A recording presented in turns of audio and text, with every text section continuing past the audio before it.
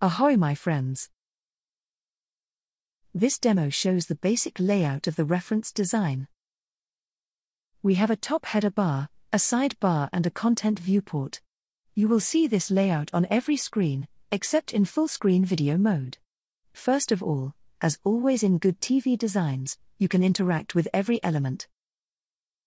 Also, the interactive header bar works exactly as in one of the previous demos. We have a link to the next destination, a link to the weather reports, and a link to everything going on now. Why change something great? The sidebar on the left side is new. So, what do we find here? You can always get to the home screen, in case you cannot find the home key on the remote. More like this will show recommendations based on the current content. This feature makes sense when you have found an excursion or restaurant that you kind of like, but is not perfect you can do a full text search or filter for content. This is especially interesting when looking for specific excursions, restaurants, or onboard activities. You can bookmark any screen.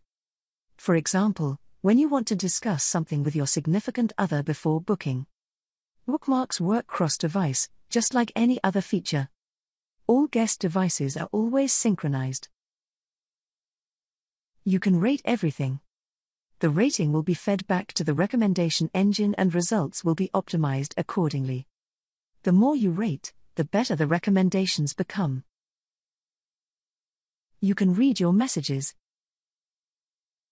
You can access your personal profile and view your bill or reservations, for example. You can change settings, for example, language or UI theme.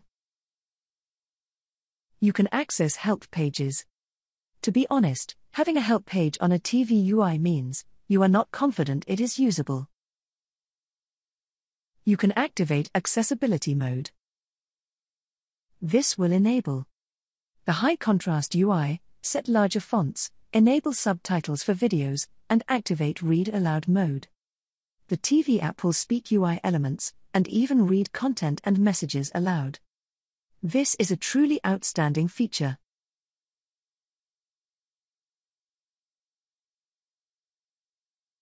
The sidebar icons are dynamic and context aware and depend on the screen that is currently viewed by the guest.